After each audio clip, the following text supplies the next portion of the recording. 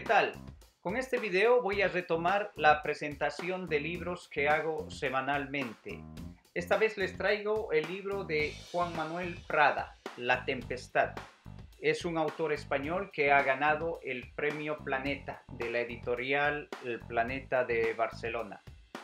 La novela narra la historia de Alejandro Ballesteros, un profesor de arte de una universidad española. Este profesor va a viajar a Venecia para estudiar la famosa obra del autor renacentista Giorgioni, La Tempestad. El estudio le posibilitará una promoción profesional. Pero ni bien llega a Venecia, se ve envuelto en el crimen de uno de los mejores falsificadores de obras de arte.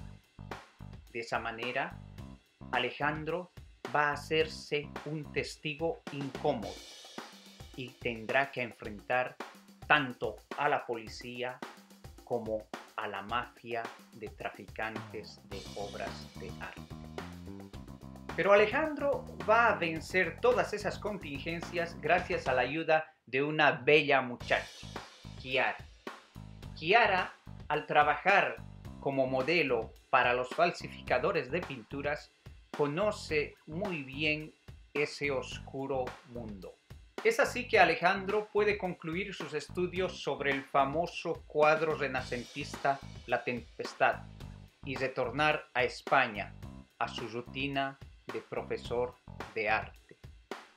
Adiós, ya les dejo, nos veremos en un próximo video.